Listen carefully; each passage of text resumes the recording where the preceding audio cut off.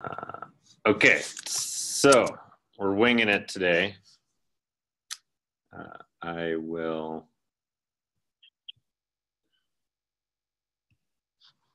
kick it off for uh, topics that folks have that they intended to raise today but may not be on a written down agenda quite yet.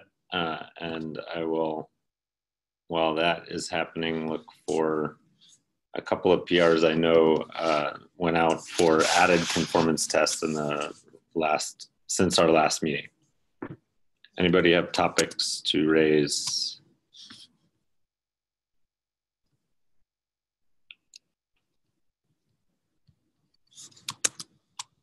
Silence. All right. Seems like this might be a quick one. Uh, one, I know off the top of my head, there was a watch conformance test added uh, in API machinery. Uh, that one is uh, particularly interesting. Uh, and I will uh, send a note if I can't pull it up quickly here. But that is essentially to ensure that the watch asynchronous watch works in uh, in the conformance test suite. Uh, and are there others that went in in the last couple few weeks that folks are aware of? Mostly, I just want to make sure there are no surprises. Uh, so I want to over communicate on what is added to the conformance test suite. There are mechanisms for you to self discover that, but this is just another uh, mechanism for doing that. Uh, in other lands, before our next meeting, I believe we will have a feature complete for 112. Uh, and our agreement at the conformance working group meeting in Copenhagen was that we would make an effort to have a better plan for what uh, conformance tests were intended to be added in 112 by the feature gate uh, which is an existing gate we can add to rather than creating a new process timeline. Uh, so I would encourage folks, if you intend to work on conformance tests, uh, to collaborate uh, on that effort. And Aish or Mitra will send out uh, some more communication on that in the next few weeks, I think. Uh, I think the only PSA I have is that um, we typically lag release cycle for doing Sonobuoy updates, just because um, that's what happens. So we might have a, a, a release around July-ish timeframe.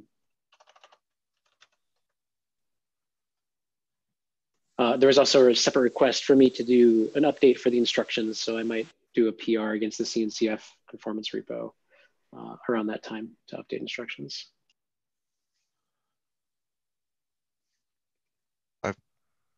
Thanks. Got a few slides for updates from Aish as well, and had some uh, wanted to get some thoughts on some of the API Snoop direction that we're taking.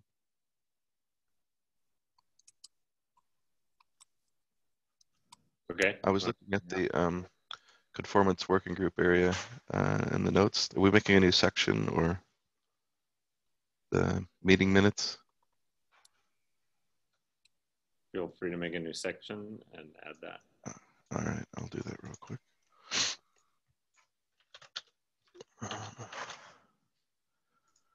This is June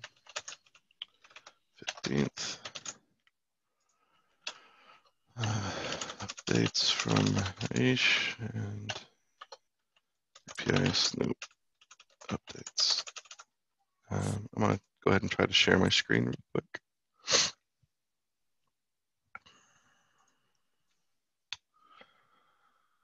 Copy of API Snoop slides. And are you able to see my, my slides?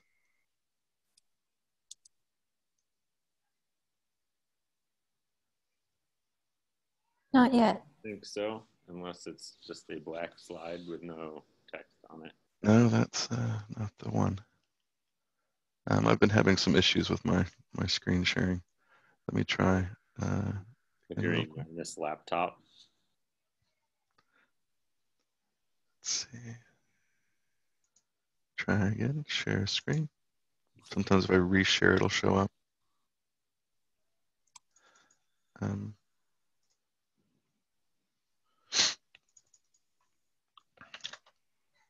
I'll drop the link into the channel and maybe someone else can try to move the slides.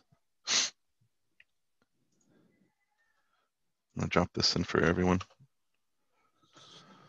And then I'll um, just progress through it, if that's all right. Sounds great. All right. Um, Aish is actually updating this live, so thanks for that. She's at a, um, a conference uh, internal to Google. And then, um, so we got lots of uh, watch tests that were added. Um, there's a PR for that. It's on slide two. Um, there's also um, some E2E aggregator tests where they're waiting for some review there, but they're in scope for 112. And um, there's a conformance guidance PR.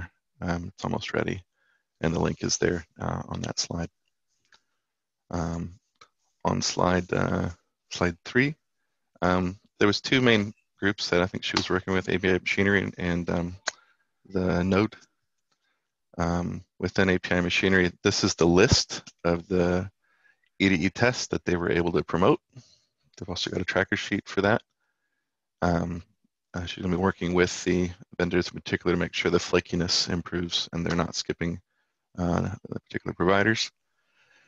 Um, and they're about to do some uh, uh, promote these cases via PRs for API machinery SIG before looping in with, um, SIG architecture. Um, Aisha's actually editing the slide, so hopefully it's uh, getting there. Um, the link is restricted, so. Uh, sorry, that's not useful. It's okay. I'm just giving you that feedback so you might give more uh, context than you would otherwise if you think people are following along. Sure, sure. I appreciate that. Um, anyone, I'll go ahead and update it so it's public. All right, I've re-updated that. Um, there's some improvements for the pod APIs. That's been a focus both for uh, API Snoop and for Aish. Um, SIGNode uh, uh, identified a list of APIs um, inside client Kubernetes Go to focus on for 112. Um, there's a, a link there to that particular issue. This is on slide four. Um, uh, she's been working with us to uh, correlate the E2E test to the API calls that they make. Um, it's helping, particularly in SIGNode, um, to be able to see which endpoints are already covered, but um, the tests aren't promoted. Uh, we're looking to try to provide a matrix for each of the endpoints to all of the tests. Um, we have an initial dump right now um, inside E2E correlate. Um, see if I can drop that into the uh, the chat real quick. So there are the initial outputs. Um, if you run, if you look at that file, it's sorted by the API calls per E2E test so that you can see for each E2E test, here's the list of all of the endpoints that it hits and the uh, sorted by the um, number of times they hit it. Um, where uh, Aish is also working closely with the Globant vendors um, to understand what they're doing, uh, particularly in how the different API and verb combinations are being exercised. Um, and uh, moving a bit into the pod API spec, that's a little bit different than just the E2E test. And so we're um, digging in a bit further to see how we can um, include that in API Snoop as well um, to see which of those are worth promoting. Um, I'm still a bit unsure how we look at um, E2E test and conformances with regards to pod API spec. Um, but the, the, initial findings are, are in a link here, and I'll drop that in the channel. I think this is, may have to request permission um, for that one. And for next steps, they're going to do an API analysis for the API verb combination and take the results to SIGNode. Um, we'll be doing something similar within API Snoop. Um, going beyond just the simple dump of the correlate we have and hopefully getting something uh, on the web that looks nice. Um, within API Snoop, we've got a couple of open tickets and that might be of interest. I'm going to drop the our issues link uh, in here. Um, one of the things we're looking into right now is trying to um, augment client Go so that every time any application uses client Go to connect, that we could somehow correlate that call to an entry in the audit log, which provides some really interesting data to analyze for all applications instead of our, we are currently working to do it within um, uh, just within the E2E test space. Um, and that's that's been some interesting interesting things. Um, we also updated the API Snoop. So if you look at apisnoop.cncf.io, um, it's it's working, but it's kind of a mock-up of where we think things should go in the future. I'll drop that link as well. Um, it's a if you look at the um, the web portion, the, the data portion is not there yet. This is where we're talking about having the actual data for each API call in a bit more in depth.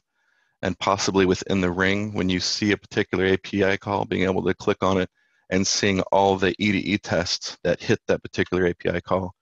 And possibly all the applications at some point, including all of the data that flows through it, so we can get a better visualization for um, yeah, how, how we're using our API. Um, there's also been some work on the capture to make that easier.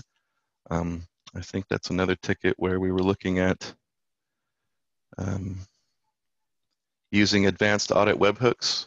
No, that's not it. Uh, yes, using admission webhooks as an alternative to audit logs. Um, yes, audit logs are where we will go and be long term, and there is that KEP. Um, if you haven't seen it, to add support for audit logs to be added dynamically. But right now, this might be useful um, to get us uh, a, a, good way there as far as the, the call itself. We won't get the results. We won't get some of the other data that's there. But I'd love some, some feedback on all of these different components um, as everybody has. Uh, yeah, it'd just be really be valuable. I think that's it.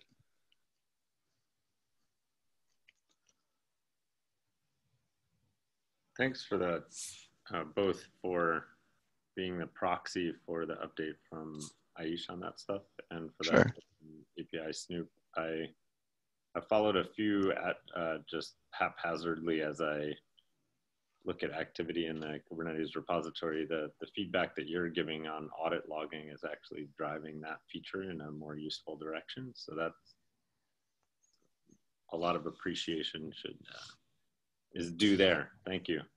No stress. Thank you for that feedback. Uh, others have questions or comments on update?